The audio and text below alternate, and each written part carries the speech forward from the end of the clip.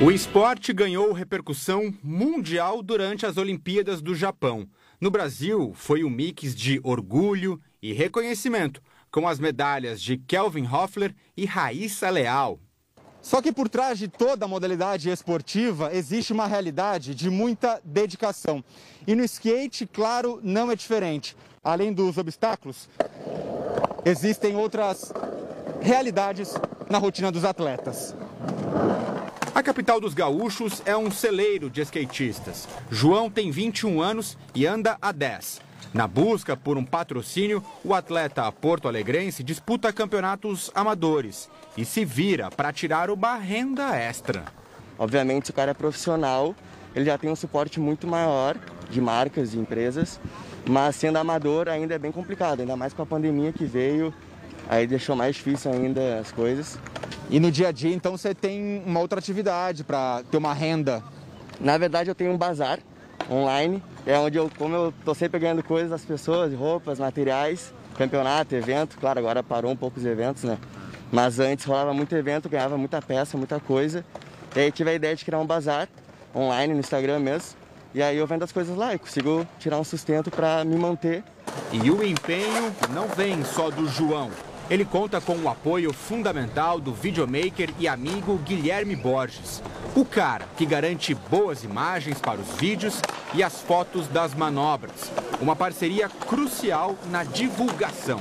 Um depende do outro, né? É, o videomaker não consegue fazer as imagens se não tiver alguém atuando, entre aspas, né? Fazendo manobra, tendo, fazendo o portfólio do, do videomaker.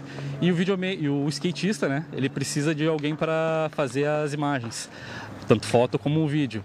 E é um casamento muito bom, na verdade, porque um precisa do outro.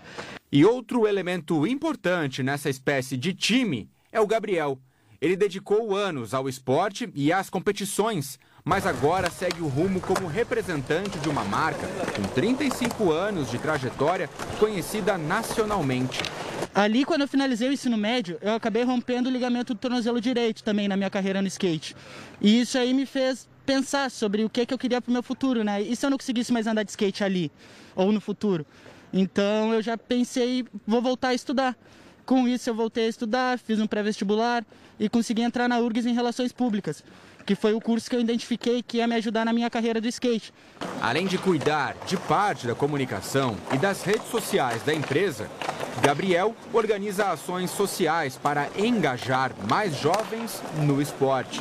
Graças ao, a esse patrocínio também a minha faculdade, eu comecei a fazer um trabalho em conjunto com os dois. Hoje em dia eu sou team manager da marca há dois anos já, uh, passo todos os ensinamentos que eu tenho na faculdade para dentro do universo do skate, tentando agregar um ao outro. Mas com as Olimpíadas chegando, eu acredito que ela está abrindo muito mais os horizontes para aquelas pessoas que antes não viam o skate como um esporte, que não davam essa chance ao skate. E hoje em dia, graças a terem visto lá a Raíssa Leal comovendo todo mundo, né, conquistando uma medalha de prata, uh, essas pessoas começaram a questionar e pensar, dar uma segunda chance para o skate.